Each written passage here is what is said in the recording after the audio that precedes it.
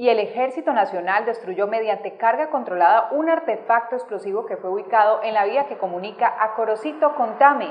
El explosivo estaba camuflado en un saco de color blanco.